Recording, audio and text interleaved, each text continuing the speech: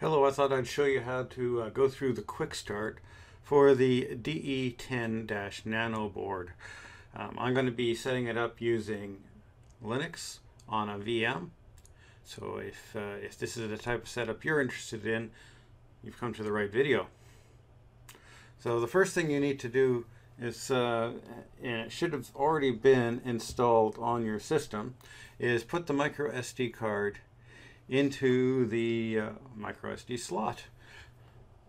That card actually has a mini Linux on it, and uh, that would be you know convenient to, uh, uh, to to to boot up and have a look at some of the demo stuff that's available on the board. So the next thing I found uh, a bit of a surprise was these configuration the FPGA configuration switches on the uh, DE10 Nano board. If you uh, look at closely on the board itself, you'll see uh, it's labeled switch 10, SW10, and there is a 0 and a 1 uh, on the board.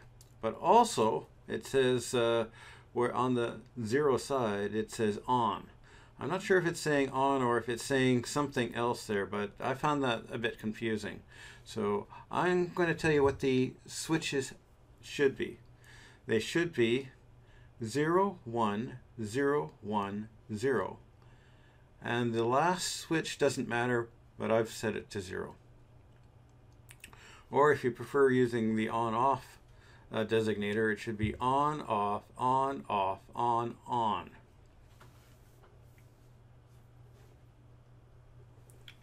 Once you've had the uh, switch set up, next thing you need to do is apply power to your board. So find your uh, your power supply and plug it on in.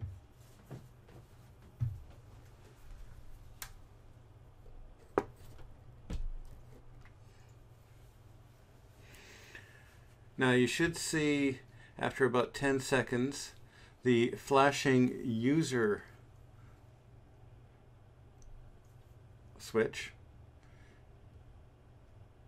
uh, flashing user LED, let you know that Linux is actually up and running. And the other flashing LEDs, I believe, is a self-test on the process, but I'm not 100% sure. It flashes each LED once, uh, and I think that's just to let you know that all the LEDs are working.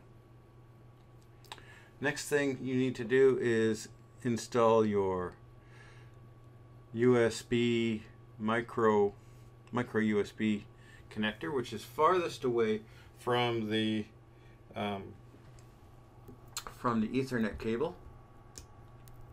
Plug that in.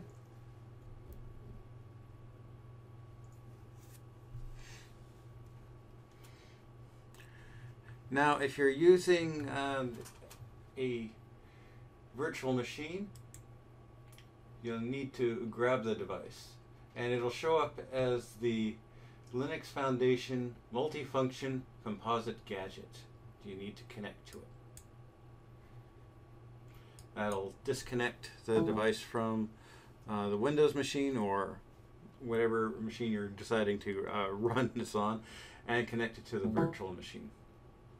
What that will also do is set up a a uh, Ethernet to USB connection, and you see here it says uh, connection established, and I'll also connect the uh, the SD card.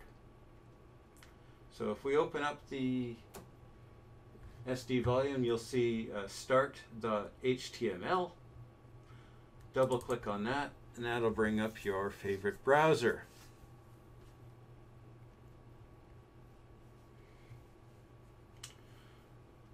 This will provide you some documentation as to how to uh, use the, the device. It'll also show you how to connect this device if you want to do it on a Windows machine. On a Windows machine, the uh, Ethernet over USB is not enabled by default. You have to install a particular driver, and that's described here. But since we're doing this from the Unix machine, uh, now the only thing we need to do is connect to the web server that is actually running now on the on the little Unix machine on this FPGA board.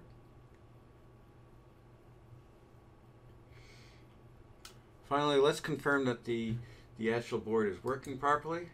So we'll go to the play section, click on blink the LEDs,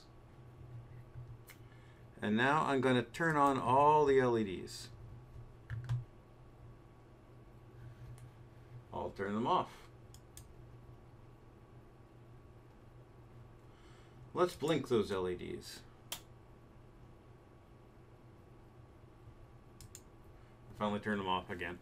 Okay, we've confirmed our FPGA board is working properly.